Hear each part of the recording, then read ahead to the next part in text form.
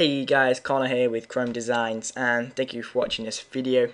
Now today I'm going to be showing or teaching you how you can create some plastic like text like so we have in the preview.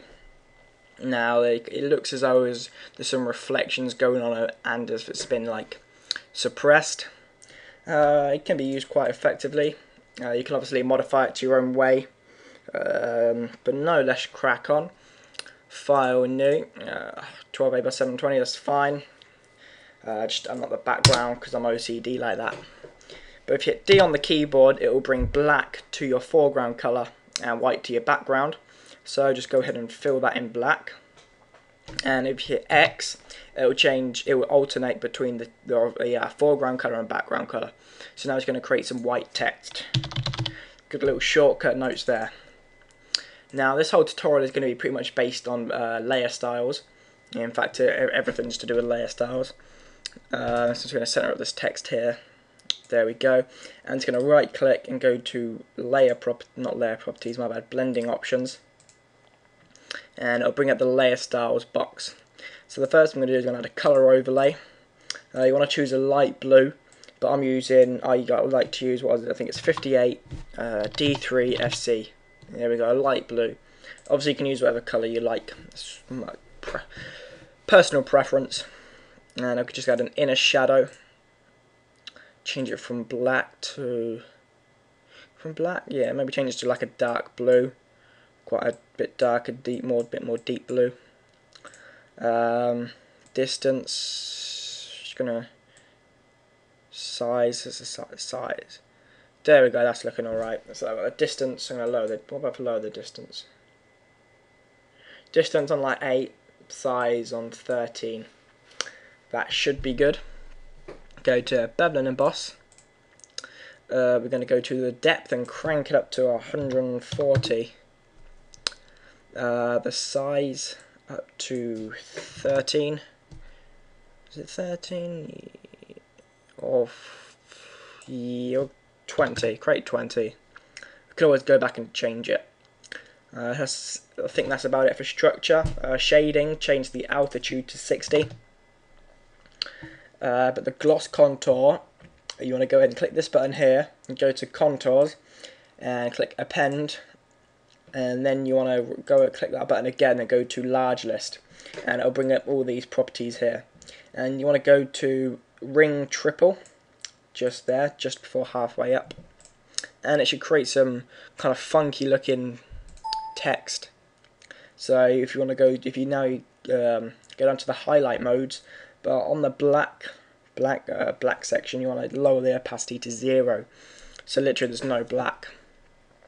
Um, we can now go into the contours. Just create contour. Uh, the contour will create a shadow shallow slope valleys not valleys, valley, and the range to 75, 100.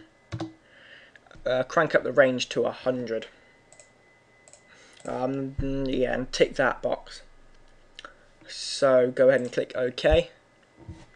And you can just duplicate that layer, Control J, Command J, or just drag it down into the new layer tab down there. But despite it being copied, you want to work on the original copy. Well, the one in the middle anyway. The one below the copied one. And you just want to add a stroke. So under the stroke, you just want to change the size to 6 pixels. And the colour, you want to create a dark blue. So maybe a bit too dark. You could maybe use the eyedropper tool to get in the shadows. There we go. That's that's that's an alright colour and if you go back under the bevel and emboss you can change the bevel so it just applies to the stroke as opposed to the text. So change the style and go to stroke emboss. But you want to change the contour again to shallow slope valley. Like so. And you also want to crank down the depth to like 40 so maybe gives a bit of so you can actually see the white like reflectiveness on the outside.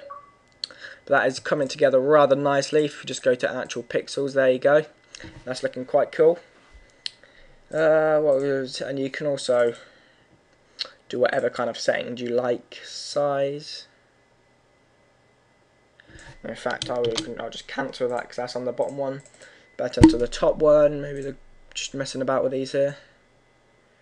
Size. Just mess about to see what looks good, you know. The depth. That's like really, oh, that's quite, it's quite nice. Actually, kind of softer 3D text. That's like minimal reflections. It's quite cool actually. Quite like that effect. Just kind of more subtle. Um, just messing about with these here. white you can crank up. You can maybe add a bit of black. So a really little bit, just so maybe creates a bit of contrast. But no, I think that's about it. Uh, you can use it to your own settings as you see there. Them two are quite different. That's like a lot of reflections. That's minimal reflections.